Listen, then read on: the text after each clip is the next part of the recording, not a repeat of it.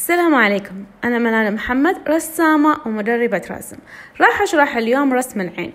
راح يتقسم هذا الفيديو لعدة أجزاء. الجزء الأول راح يكون تخطيط رسم العين للمبتدئين باستخدام شبكة التربيع وبنهاية الفيديو أتمنى الكل يتفاعل معي. يروح يرسم يجرب طريقة الرسم العين يختار العين اللي هو يبيه يرسمها.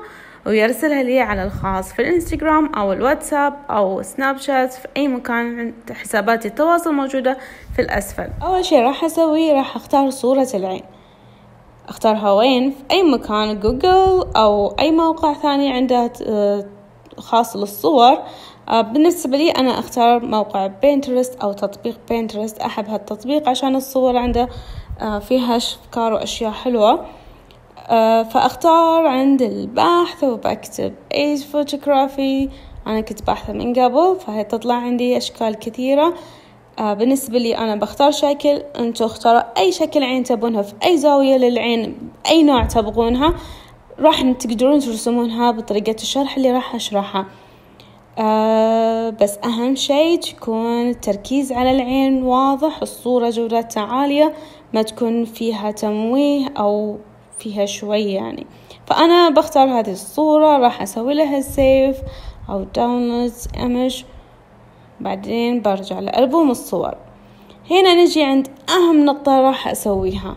لما أختار الصورة هذه الحين أنا أبغاها أهم شي أهم شي راح أسوي إني لأن أنا راح أرسمها بالرصاص أو بالفحم أو بالألوان اللي تكون لون أبيض وأسود.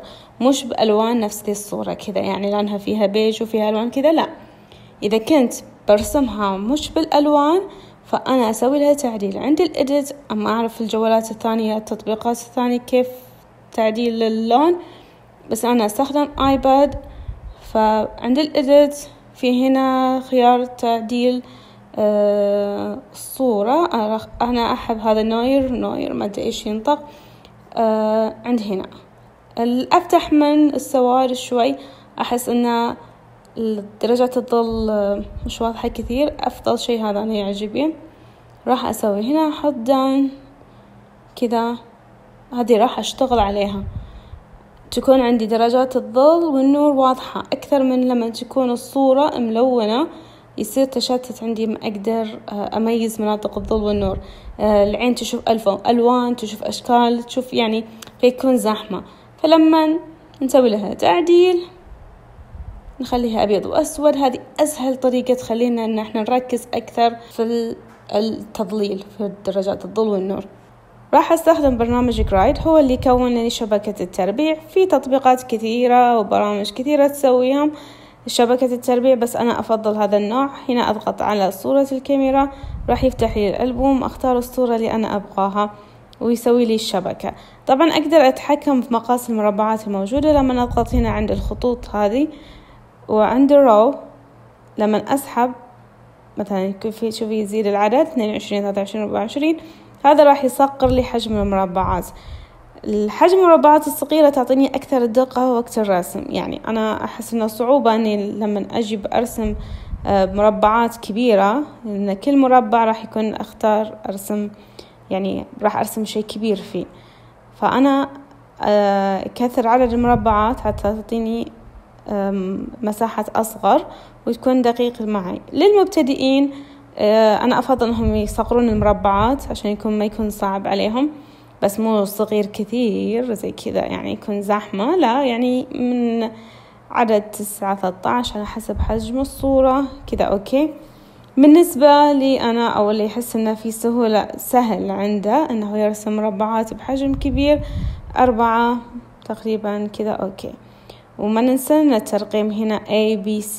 D كل مربع من فوق بالحروف. ومن على الجوانب 1 2 3 أو نعكس أو أي ترقيم نبقي. أهم شي يكون في ترقيمات عندنا. بدا البرنامج كيف إني أنا أطلع الترقيم هذا؟ أضغط عند المود. Show cell labels. أختار هذا الخيار. آخر واحد. فهي راح تطلع معي. لما أضغط مطول على الصورة. يعطيني سيف كرايد اند أوكي. كذا انحفظت عندنا الصورة. لما نرجع في الألبوم الصور بنلاقيها موجودة. بالنسبة لنوع الورق أو كراسة الرسم اللي راح نستخدمها أنا عندي مليون نوع وشكل ولون. ف آه، إيش اللي راح أختار؟ بختار الرسم عادي سكتش مكتوب عليه علشان الأغلب أصلا عنده سكتش وأنا أرخص الأنواع هذه. بالنسبة للماركة ديرونز تقدرون تستخدمون أي نوع أي نوع يعني أنا هذه كراسة أحبها كراسة رسم ما مدرسة بس أن هي ورقها ناعم فحلو للبستيل فقاعدة أشخبط فيها آه فيها رسمة حلوة. بس ما أدري وينها. أيوة. فيها رسمة ثانية بعد حلوة. النعومة لها الورق حلو. فقال أنا أجرب شغلات. أما كمبتدئين وأنا شرحي طبعا هذا حق المبتدئين أي كراسة أي كراسة عندكم استخدموها.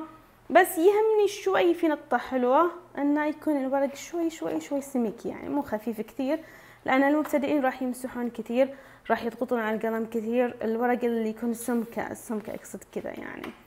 يكون كل ما كان قوي شوي راح يتحمل الورق معاكم. أفضل من يكون مثل ورق الاي 4 للطباعة. آه الورق مع الرسم مرة مرتين راح يتمزع معاكم أو إيش يصير تروح الطبقات من كثر المسح. اللي عنده زي هذا أوكي. آه طبعا هذا النوعية كان الإصدار القديم لها هذا. بس الغلاف غيره. ولا الشركة هي نفسها.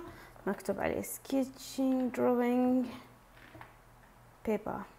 Sketching يعني حق الأشياء السريعة الرسم اللي مش يعني أنا أسميه إذا كنت ما راح أبيع الرسمة فأستخدم ورق سكتش يكون وسط مش محفر كثير ولا أنه هو ناعم كثير وسعره رخيص.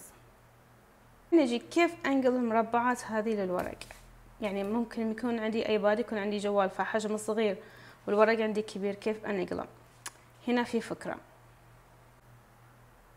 بالنسبة لكيف أنقل الصورة الموجودة عندي في الآيباد للورق آه، أو مثلا لو كان عندي جوال مش آيباد. أول شيء لو كان عندي مثلا آيباد أو لابتوب أو أبي نفس المقاس فأنا بختار باخذ مسطرة.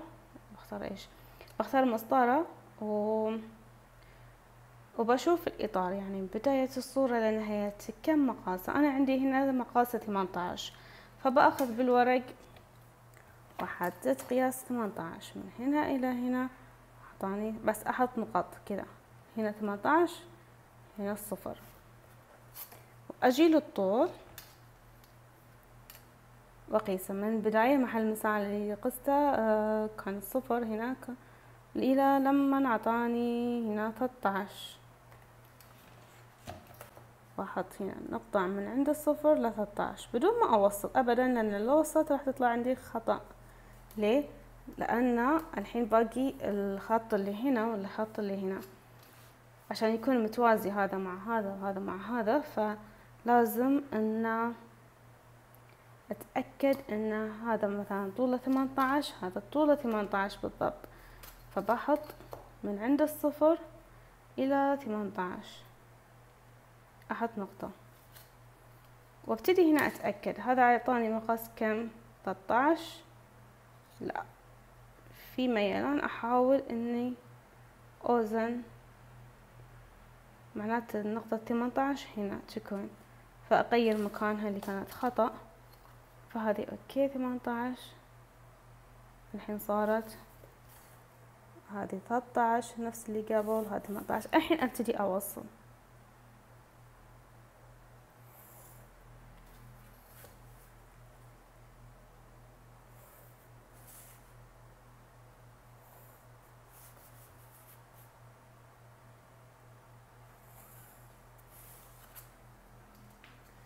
أوكي؟ آه بعض الأحيان راح تكون ممكن تحسونها مايل بسبب أن الحدود للورق مش نفس أنا يعني إحنا ما وزننا الحد هذا نفس الحد. فهمتوا؟ يعني مفروض أن اللي يحبون مرة متوازية على نفس الورق فراح ياخذون كذا عشان ياخذون قياسات. طيب؟ وبعدها نجي نختار المربعات كيف نرسمهم؟ نشوف العدد لهم. واحد اثنين ثلاثة أربعة خمسة ستة آه، والطول ثمانية عشر ستة تقسيم ثمانية عشر فبيعطينا طول المربع الواحد ثلاثة سنتي. هنا الحسبة الرياضيات آه طريقة سهلة يعني.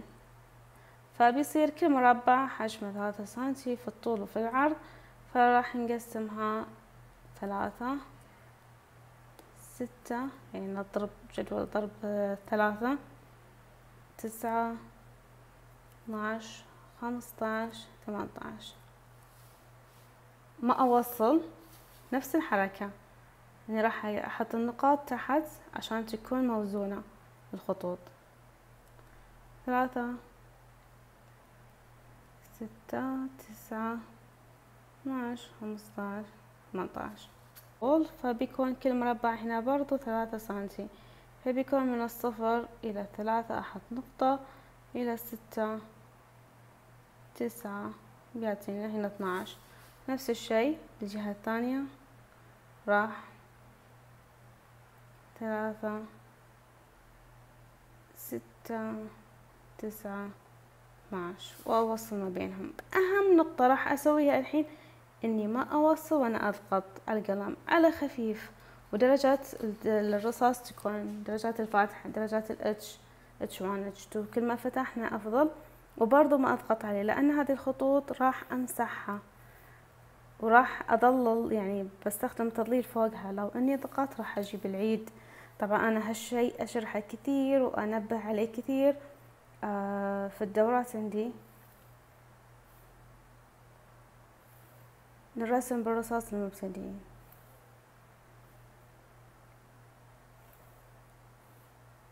بدون ما أضغط عليها هي خلاص تكون كذا واضحة بالنسبة لي. كذا رسمة شبكة التربيع ونجي عند الترقيم. أهم شي عندي يكون الترقيم الموجود في الصورة نفسه بالضبط.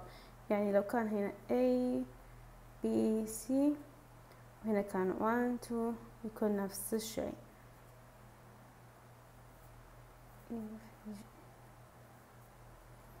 لو غلط في توازن الخطوط هذه يعني آه، حطيت هنا نقطة وما حطيت هنا ووصلته بس وكانت مايلة أو الإطار كان مايل مستحيل تطلع الصورة مطابقة الأصلية. فلازم نتأكد أن تطابق الأصل. فحاليا اللي حاب يكبر الصورة آه، أفضل أنه يطبعها يطبعها بحجم اللي يبيه الورق بالضبط ويحطها جنبه. ويسوي نفس الإطار ونفس الخطوط. ما راح أشرح الطريقة أكثر الطريقة كيف التكبير. الحين نجي كيف نرسم كل مربع أو نرسم مربعات داخل الورق. نشوف نبتدي بالدور. ما نبتدي عشوائي. أبي يمين يسار يسار يمين. فوق تحت ما هي مشكلة بس ما أبتدي من النص. بعدين ابتدي فوق يمين تحت لا, لا راح يكون في تشتيت خصوصا الصور اللي تكون مربعات كثيرة. فأبتدي بالدور وأتأكد حبة حبة إنها صحيحة. يعني ممكن أحط زي كذا الورقة مع مقابلين بعض خصوصا لو كانت بالضبط القياسات مطابقة فعندي زي كذا جايين على بعض. أنا أفضل زي كذا دائما المتدربين عندي أسوي لهم هالحركة اللي كانوا موجودين معي حضوري. آه إنهم يثبتون الصورة اللي يبون يرسمونها في المربعات وتكون على طول تحتهم أو جنبهم على حسب اللي يفضلونهم عشان ما يصير تشتت. فنبتدي من مربع A1 ونشوف في هنا خط بسيط بالضبط نرسمه وأهم شيء إن لما أضغط على القلم. وأستخدم درجة فاتحة H H1 إذا ما عندي عندي بس HB ما هي مشكلة بس يعني ما أضغط ما أضغط. وأبتدي من اللي جنبه. هذا الرموش. أنا ما أفضل أرسم الرموش أبدا أبدا. بعض أغلب الرسامين أنا أشوفهم يرسمون الرموش بس أنا راح أظلل ذي المنطقة وأنا رسم رمش فيصير زحمة زحمة إني أنا أظلل. فأنا المناطق اللي فيها رمش أسوي لها أعديها. هذه فيها رمش ما فيها شيء ثاني. أنزل تحت. برضو هنا كلها رموش بس عندنا هنا حد العين في البي تو الاي تو سواد معي من البي تو في كذا منحني من عند الزاوية شوي مايل. مش كثير مش جاي هنا لا شوف كيف. قريب شوي زي كذا نتأكد في المساحة اللي هنا نفسها. إذا أنا أحس صعوبة إني أقدر فأخذ مسطرة وأشوف القياس كام. تقريبا واحد سنتي هنا واحد سنتي. تكون. بعدين أجي يعني أنزل تحت أو أنا أجي لليمين. أنا راح أنزل تحت عشان كل هذه الجهة البي راح أخلصها. فعندنا عند البي ثلاثة في في شوي نزلة بعدين يصعد منحنى كذا وبرضه في النص هنا أقلبه أسود هنا أبيض فصير بالنص. عادي أخطأ وأمسح بس ما أضغط القلم أبدا. أنزل أكثر.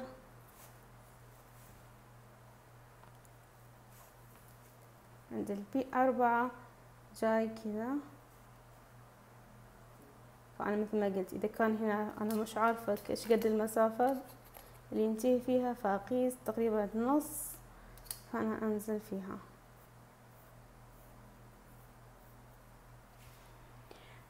طريقة القياس بالشبكة شوي متعبة إنها في البداية في البداية بس متعبة بس إن تيجي بطلة. أو إن أنا دائما أقول إن شبكة التربيع لحالها القياس بشبكة التربيع ما تطور الفنان ما ي... ما ينفع كل أنواع الرسومات أرسم شبكة تربيع أنا كأني أنسخ.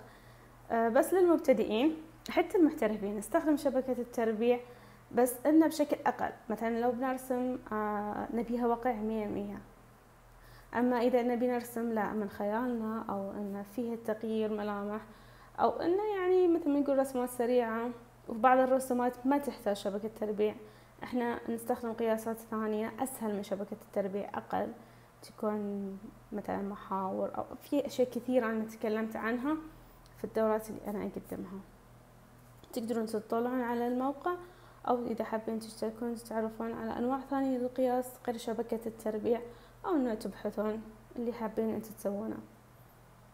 فأبتدي أكمل عندي C نلاحظ في قوس هنا إحنا قلنا الرموش ما راح نرسمهم بس في عندي قوس. واضحة الصورة أو لا. هنا. كذا. القوس جاي من نهاية ال C ويبتدي يصعد عند C one C one هنا. بس نلاحظ انه ما يصعد كثير فنفس الحركة. أقدر أجيب مسطرة وأشوف كم القياس اللي راح أصعده. فأنا يعني لأن آه، استخدم كثير قياسات طرق ثانية فأنا أصلا حتى بدون شبكة تربيع أقدر أرسم ذي العين أنا رسمها بسيط ما هو بصعب. آه، الصعوبة دايما في شبكة التربية مثل ما قلت في رسم البورتريه في رسم الوجه تكون كامل.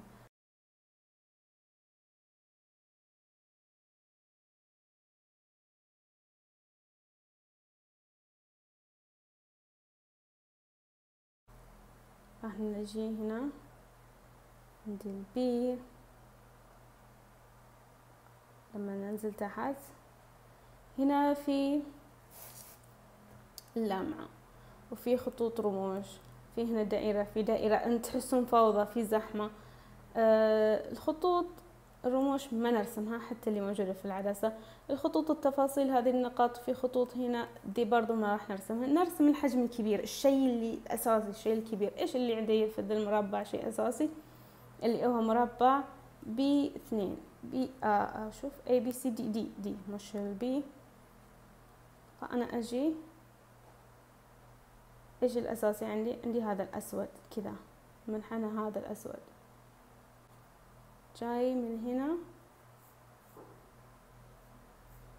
إلى هنا.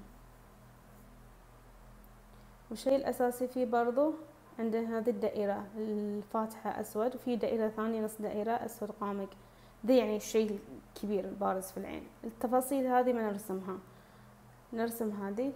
جاي كيف؟ الدائرة جاية. جاية من هنا إلى هنا. أتأكد إني أنا أرسمها دائرة. طيب طبعا كيف إني أنا أرسم دائرة متوازنة بشكل مرتب؟ بهالسهولة. في لها تمارين كثيرة. أنا تكلمت عنها في الدرس الأول الدورة للمبتدئين بالرصاص. ما راح أشرحها الحين. فاللي حاب يشترك في الدورات راح يستفيد كثير معلومات كثيرة أنا أتكلم عنها. وأرسم الدائرة هذه كيف وين مقاسها وين مكانها. أتأكد إنه بالضبط جاية نفسها.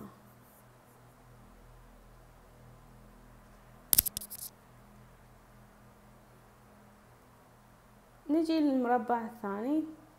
نرجع دي. أنا بدلت شوي بس عشان كنت أبي أشرح هنا البياض ولا أنتم أفضل مثل ما قلت يكون بالترتيب.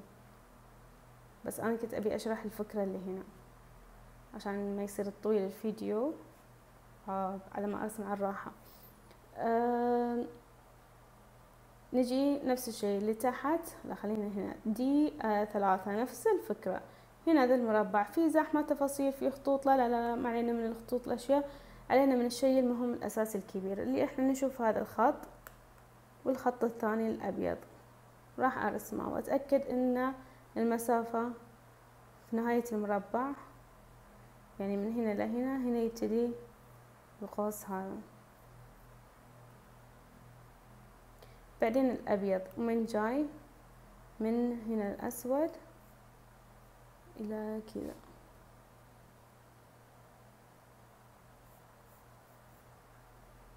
بدون ما أحتاج أرسم تفاصيل. الفكرة كلها نفس الشيء. فما أحتاج أني أسولف كثير وأنا أرسم. ممكن أسرع الفيديو. مثلا هنا عندي المربع السي اثنين. نتأكد شوف في عندي رموش ما راح أرسم الرموش هذه. راح أرسم القوس لهم كذا هنا الميلان هذا. راح أرسمه. فيجي من عند الدين أو السي نهايته هنا من فوق لما ينزل لتحت عند الاثنين. كذا. دي المسافة كلها هنا رموش. ما راح أرسمها. وفي قوس ثاني اللي هو إيش يسمونه؟ جفن لا مش الجفن العلوي ما أدري. هذا اللي هنا. جاي كذا. وبرضو جاي العدسة تكملة العدسة. يعني اللي يضعون يقدرون يكبرون الصورة جزء جزء مربع. ويرسمون. عشان يتأكدون إن في أشياء هنا مثلا منحنى جاي في الدي نشوفها. آه لا تتوقعون إن تخلصونها في ساعة واحدة أو في دقيقة واحدة تأخذ وقت. وعادي إحنا نخليه يوم يومين وإحنا نرسم فيه نتأكد من الأخطاء. ما لازم نخلص إحنا الرسمة بسرعة. كل الفنانين شي يستمتعون فيه ما يبون يخلصون الرسمة في دقيقة واحدة. اللي يبي يخلص الرسم في دقيقة واحدة هذا بس يبي يخلص. ما يبي يستمتع بالرسم اللي هو يسويه.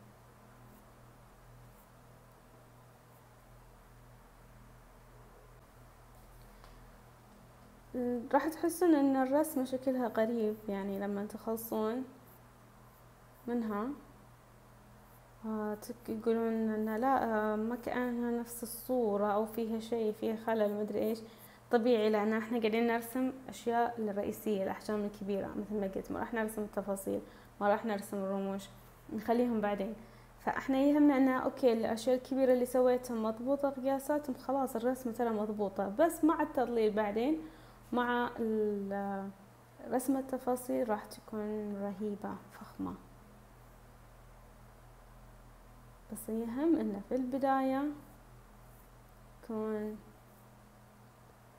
الرسم جدا دقيق يعني أتأكد من القياسات من كل شيء. أوكي مضبوط ما في أي خلل. المدمع هنا في بياض. فأنا الأشياء الكبيرة مثل ما قلت راح أرسمها.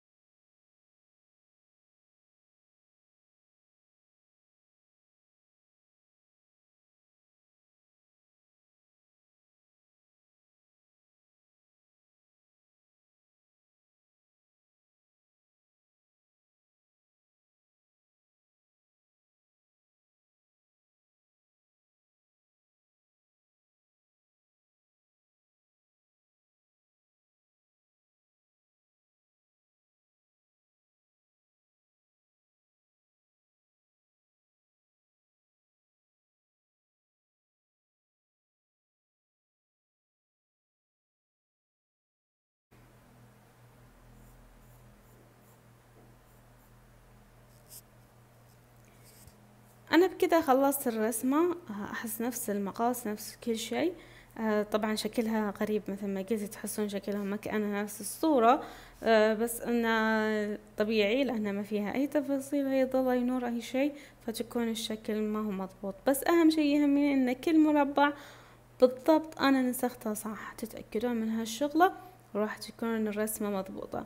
راح أخفف من الخطوط شي بسيط أكتر يعني أخفف منها عشان نبتدي لمرحلة التضليل بس ما راح أشرح التضليل الحين لما أشوف التطبيقات اللي تسوونها في الرسم شبكة التربية. أو كان عندكم أسلوب قياس ثاني رسموا ووروني كيف. شكرا لكم.